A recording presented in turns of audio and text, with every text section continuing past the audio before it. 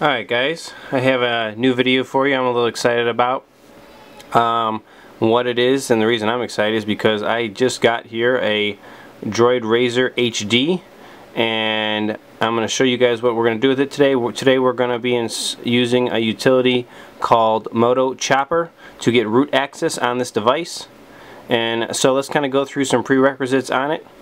Um, we're going to go into settings and show you about phone and just show you what we are running. Uh, this is Android version 4.1.2 which is Jelly Bean. Like I said model number uh, is Droid Razr HD and then this is the system version is 9.16.6.xt926 so this is the XT926 Razr HD that is the uh, Verizon edition of it. So you can see all that information right there. You want to make sure you're obviously running this to use this utility. This utility also will uh, get root access on the Razr M and the Atrix HD um, along with other Motorola devices and I don't I think from what I understand of it it doesn't even matter too much what Android version they're on. It's supposed to work on a bunch of them. No, not for sure on all the testing on that. haven't done too much. I know it works on those three I just listed though. Uh, so you're going to want to go in here and go to developer options right here. Make sure it is turned on and make sure you check USB debugging. Uh, that is definitely going to be a prerequisite for this. You need it to get root access on the device. So make sure you've done that and make sure you've gone ahead and installed the Motorola drivers. I will put links to all this stuff in my video description down below and I have a video on how to install the Motorola drivers on your Windows PC um, in the description obviously below too along with all the files you guys are going to need for this. So we've gone through those prerequisites on the phone. Um, if you're wondering why I don't have signal or anything I don't have a SIM card in this device right right now. So I will be doing that but gonna go ahead and show you guys how to root this device first. So we've got those prerequisites made. Let's go over to my computer and check that out. Basically what we're looking for is this zip file right here. It's called Moto Chopper and you're going to go ahead and extract it which I have actually done. You can extract it with 7-zip which is what I like to use which is this program right here. Uh, you can download it off the internet. It's, you can find it everywhere. Cnet.com has it. It's great from there. So extract it with that. So it's going to come as a zip file. Go ahead and extract it. Then you're going to end up with this file right here.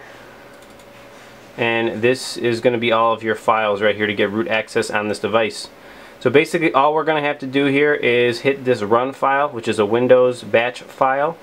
Go ahead and click on that and read through this. Like I said this works on the Motorola Razr HD, Razr M, Razr Max HD and Atrix HD. Supports lots of other devices as well.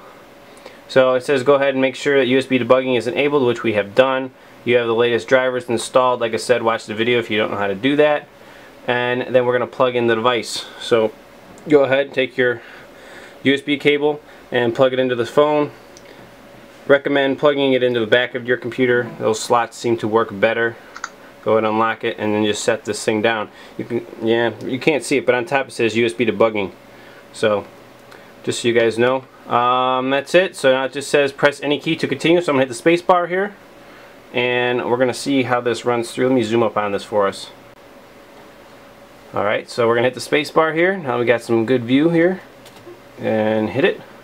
It says waiting for device. Starting successful. It's go ahead and pushing files, running the exploit, pushing this, rebooting phone. This may take a few minutes. Successful cleanup exploit has completed. Press enter to reboot and exit. So it says everything was successful. Let's go ahead and press any key. And the device is going to reboot. I mean that's pretty simple. Uh, shouldn't be much to it. You just you can see it ran right through it like nothing flat. So let's go over and we'll look at the phone and we'll show you guys we have root permission and we'll check it out then. So let's go look at that. Device is rebooting as you can see. At this point you can go ahead and unplug it. So let's take a look at it. Alright, so let's take a look at this. I just downloaded Root Checker to go ahead and check to see if this phone now has root permission. So let's go ahead and try it and see what we get here. Agree. Okay. Verify root access. Um, this is just going to go ahead and there it is. So you're going to say remember choice forever and hit allow. And there you go. Congratulations, device has root access. Boom, done. Super easy, ran that utility like nothing. Uh, the dev on this thing was obviously genius when he came out with this one because that was the easiest root process I went through. Just one little script and it was done. Um, so there you go guys, you have root access now. This with super user right there. There it is, that's the uh, utility or app that was allowed. And there is super user. So pretty simple. Like I said, man, running the uh, Droid Razr HD, running on Jelly Bean 4.1.2. Bam. Super simple. Gotta love it. There it is. Root access on the, the Droid Razr HD. Hope you guys liked this video. If you did, please subscribe down below. Check out my website right here above my thumb. I update this thing daily. Lots of good information on there, including a bunch of good download links on there. Um, follow me on Facebook or Twitter, and we'll catch you guys next time. Thanks for watching.